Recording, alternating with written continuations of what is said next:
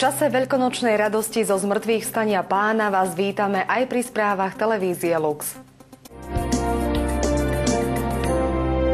Pri príležitosti roka kresťanskej kultúry sa v letohrádku Dardanely v Markušovciach uskutočnil veľkonočný koncert. Podujatie zorganizovalo Múzeum Spíša a obec Markušovce v podvečer veľkonočného pondelka.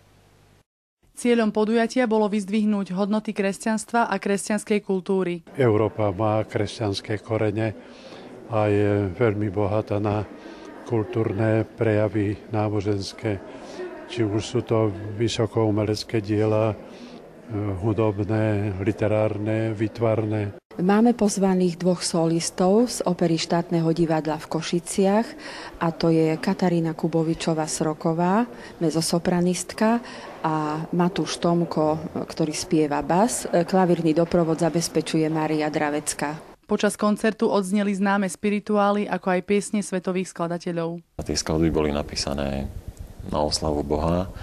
A aj keď to vyzerá tak ako, ako také predvádzanie sa, tak e, tá prvotná myšlienka, ktorú by, na ktorú by aj ľudia mali pamätať, je, je to, že e, to by malo byť také prepojenie medzi nebom a zemou cez hudbu. Po 20-ročnej tradícii vianočných koncertov ocenili ich návštevníci zorganizovanie podobného podujatia aj počas Veľkej noci. Tak bolo to niečo grandiózne.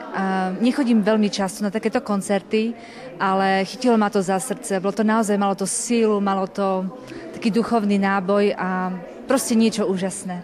Isté budem z toho čerpať ešte dlhšiu dobu. Myslím, že to veľmi um, obohacuje v takomto ešte inom rozmere. Bolo to ozaj veľmi, veľmi krásne. Viac ako hodinové vystúpenie ponúklo hosťom koncertu kultúrny ako aj duchovný zážitok.